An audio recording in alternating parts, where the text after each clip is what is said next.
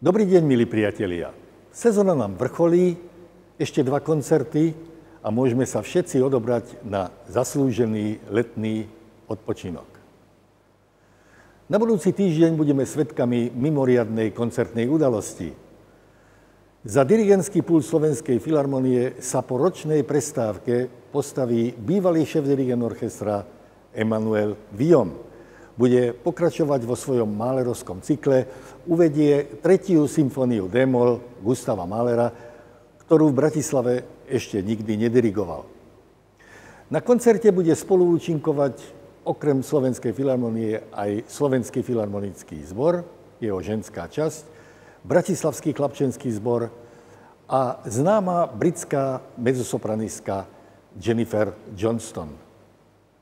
Koncert venujeme pamiatke nedávno zosnulého šéf-dirigenta a umeleckého riaditeľa Českej filharmonie Jiřího Bielahlávka.